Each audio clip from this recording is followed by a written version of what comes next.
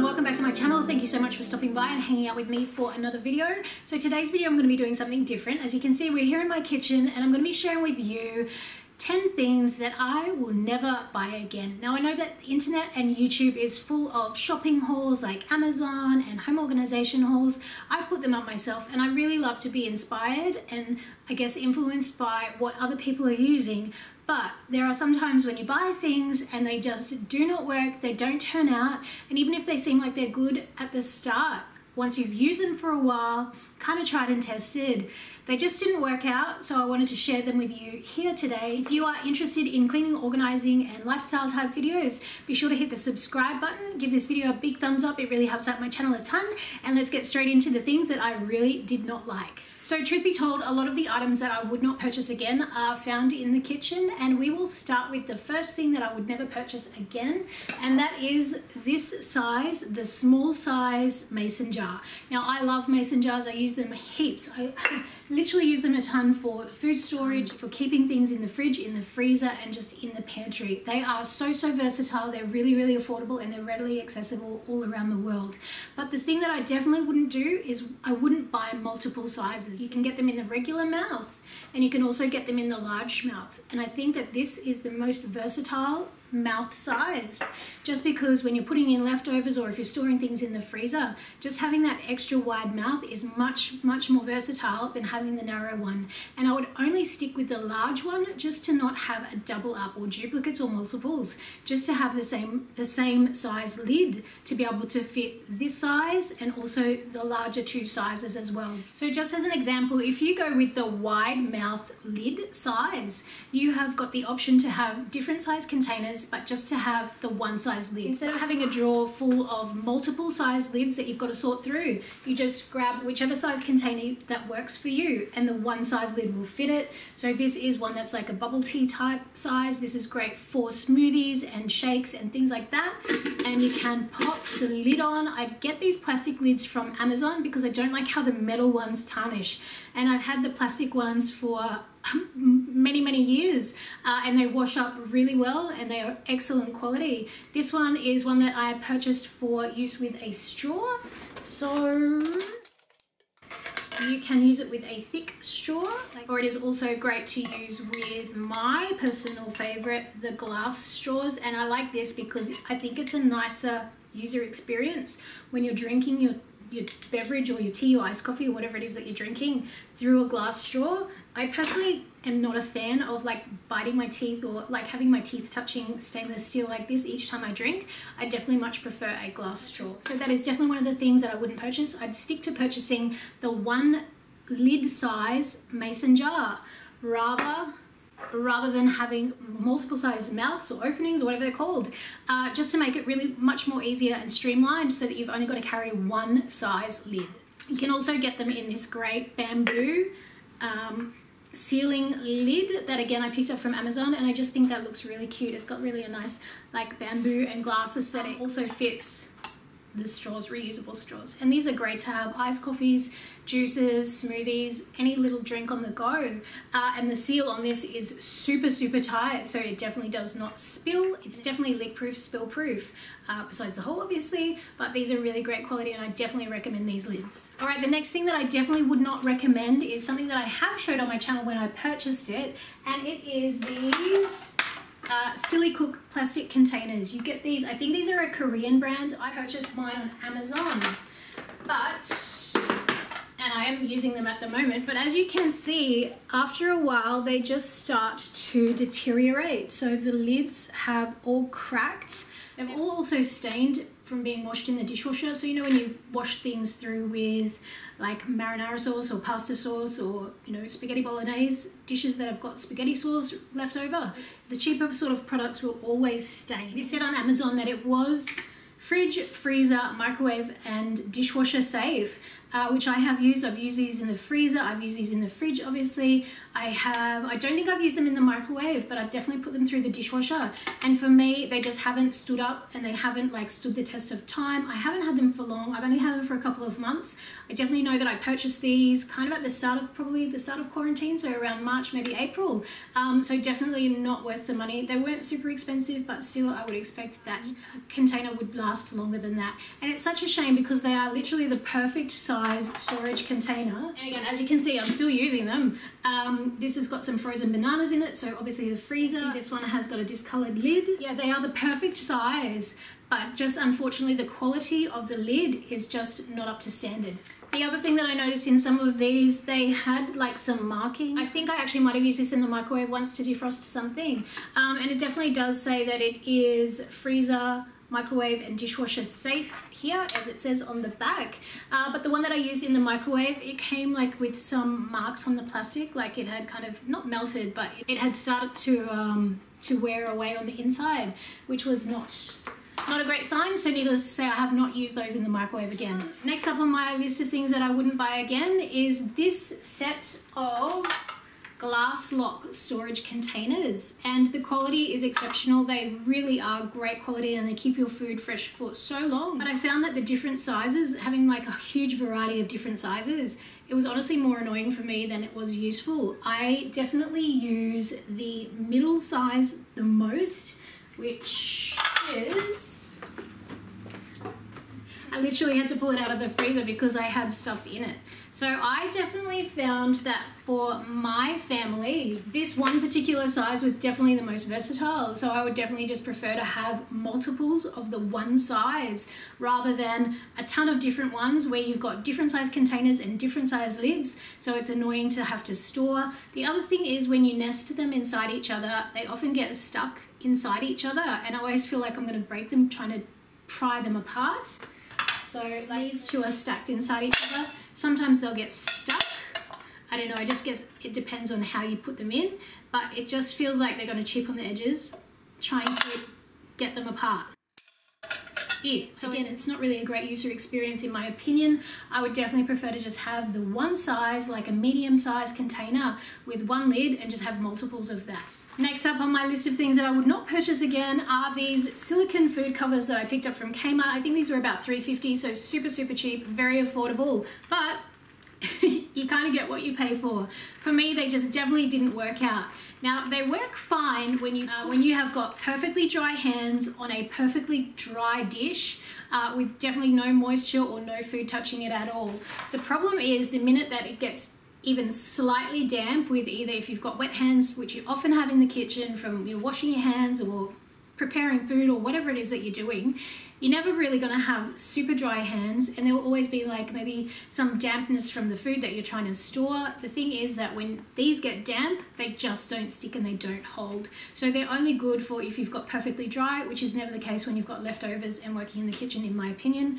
The other thing is, and I think I actually already recycled the one that was horribly stained, they also pick up the stains from any like tomato based sauce if you're washing anything through the dishwasher with tomato based sauce like again the bolognese sauce, pasta pasta sauce, marinara, um, Napolitana sauce, whatever you want to call it, they will definitely stain these up really badly. They kind of just start looking really dingy really quickly in my opinion. So not a winner for me. $3.50 from Kmart, definitely wouldn't recommend these.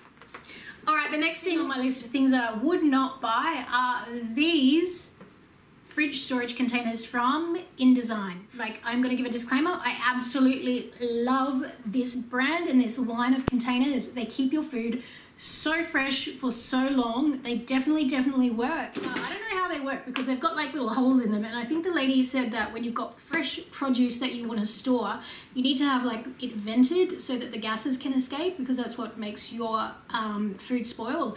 And I've kept things like carrots in this container and they've lasted for weeks and weeks in the fridge. I'm not gonna lie. In fact, I had some carrots in here for so long in one of these containers that they kind of started to sprout. So they definitely keep it fresh, but they were still crispy and crunchy. Um, so they definitely keep your food very, very fresh. It's just that the size of this one, I found the size was really impractical.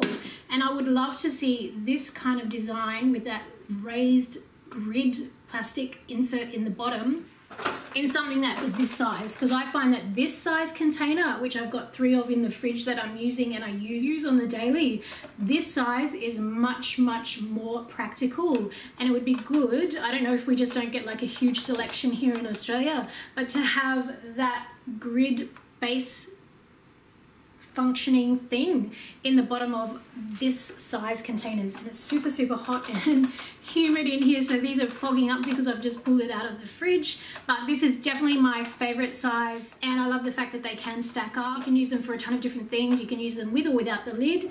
These are definitely great. It's just in this particular size like literally the only thing that I use that actually fits and takes up the whole space of this is when I buy a celery. Which honestly, when I buy celery, I kind of use it straight away, so I don't have the need to store it for a long time. So definitely love this product, just not in this particular size. It definitely didn't work for me, and I would definitely stick with again multiples of the same size so that you can stack them you can coordinate them you can use the lids interchangeably with the bases. And it saves just having a double up of different size lids and containers just adding extra like extra things where it's not necessary all right, the next item is another item from my kitchen and I actually mentioned this in my last video. My getting back on track post-vacation motivation video, that was my last upload.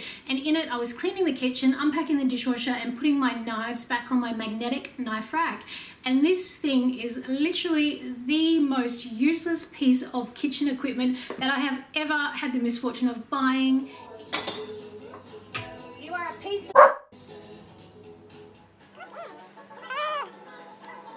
it sticks up on the wall no problem. It is one of those suction um, type situations that you kind of put up and then you have a little vacuum tool that sticks it up onto the wall. That has been absolutely flawless. It has not budged, it has not dropped, it has not come down. The problem is that the weight of my knives, which are just regular global stainless steel knives, it won't hold the bigger knives. It holds the smaller size chopping knives okay, but it doesn't do it without kind of pivoting them like sideways. They won't sit straight on the knife rack. And for the two heavier ones, so the bread cutting serrated knife and the bigger chef's knife, it just doesn't have enough magnetic stick or whatever it's called enough magnetic force to be able to hold those knives for that weight. And for me it was just not worth it. So I'm definitely looking for an alternative to that which would have to be like a slim line knife block or something along those lines. And it's a real shame because being in this small kitchen space with limited counter space I definitely wanted to get the knives up and off the counters. So that is why I purchased the magnetic knife holder. But it just for this one this particular brand, it just did not work at all. I'll leave the actual brand name and all the details below in the bottom. So if you are looking for a magnetic knife holder, you will know which one to avoid. The next item that I would not buy or recommend buying are these chopping boards from Ikea. I have had a couple of these. I do not put them through the dishwasher. I just hand wash them. Uh, but I think this is the third one now and they just split apart on the seams. They're really not that great quality. They are only a couple of dollars each, but definitely they don't last. They don't hold up to everyday use. Uh, I only use these occasionally just for like having sandwiches and cheese platters and little cheese boards and stuff. So they're not like everyday high use items. Definitely would not recommend purchasing this particular item from IKEA. Okay, so another item that I've purchased that I regret and I definitely would not recommend is this selfie ring light type clamp on contraption thing. It is USB. I'll just quickly plug it in to show you how it works. So you plug it in via USB. It has an on off switch. You can cycle it through a couple of different colors and it definitely works well. It is just that when it comes time to clamping it on, and I'll have to unplug it to show you, clamps on perfectly. No problem at all. The problem is when you actually go to put your mobile phone in, it doesn't have the strength within itself to hold the weight of a mobile phone. And I've only got an iPhone X, so it's not huge and it's not, it's definitely not heavy, but it just doesn't stay in place and it will stay in place but then it will slowly droop and droop and droop and droop. So a great idea and it does work if you kind of twist it around and on itself but that kind of defeats the purpose of having this. Like i i think this was like around 50 or 60 dollars so it definitely wasn't a cheap version and i definitely picked one um, that was in the higher price bracket with the expectation that it would be strong and secure enough to hold itself in place but as you can see, it's just not the case. So I definitely, definitely would not recommend this one. Um, so it's a great concept and a great idea. It just is unfortunately lacking in the strength or the quality uh, to be able to recommend it. So I definitely would not recommend this one. Next up on my list of things that I would not purchase is this natural bristle brush. I bought this one from Kmart and I bought it to replace one that I had purchased previously also from Kmart which actually had white bristles. The reason that I wouldn't purchase this is because the color of these dark natural bristles, the color transfers or leaks. I don't know if they're dyed or if they are actually natural, but the color of it leaks and transfers once it's wet. So I would definitely stick with the white version and this one is the um, White Magic Eco Basics. So this one is definitely one that I would recommend because it is white. Um, I think it's synthetic fibers, but the bamboo handle is natural bamboo. But however, I would definitely recommend picking one with white bristles because the dark colored bristles, once they're wet, they leak or seep color and it transfers onto anything. Like I've got mine sitting in a light colored dish when it's wet and you put it down in that light colored dish, the color like leaks out of it and it just looks disgusting.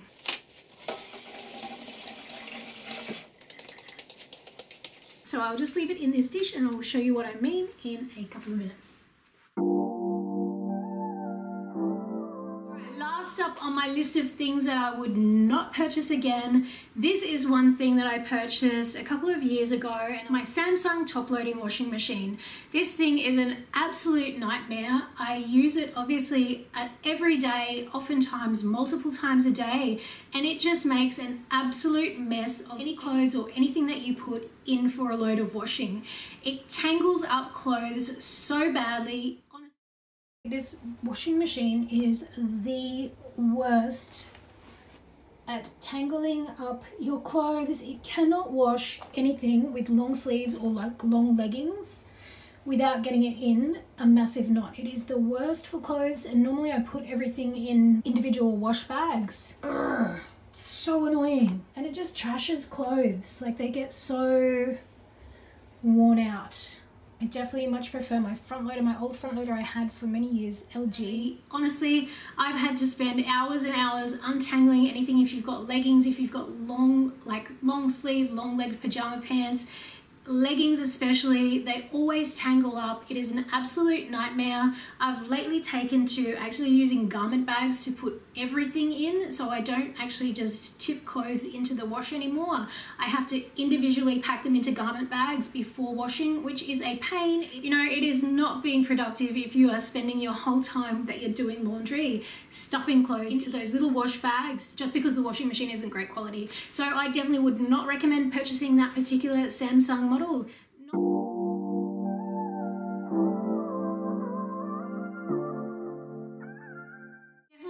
Against the brand Samsung. Got a Samsung fridge that I absolutely love, Samsung TV that works perfectly. It's just this particular washing machine. And I actually went back online and I read some reviews that I should have read before I purchased it because all the reviews say exactly the same thing, that it is really rough on clothes. It tangles everything like, like ridiculously.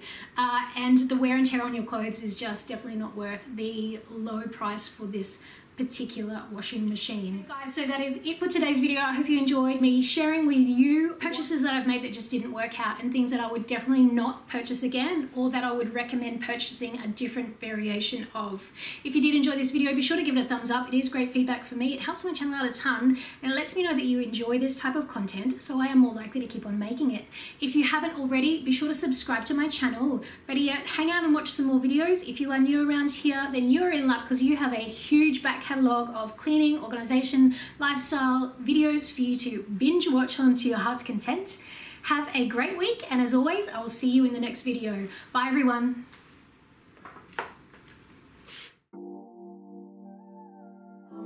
It is a real pain. It is not time. What, what am I thinking of? It's not. Shh, tell anyone. Having a sneaky glass of bubbles because it's nearly four o'clock on a Saturday motivation for me to get my YouTube video finished quickly before the bubbles go flat and hot. Oh, shiny.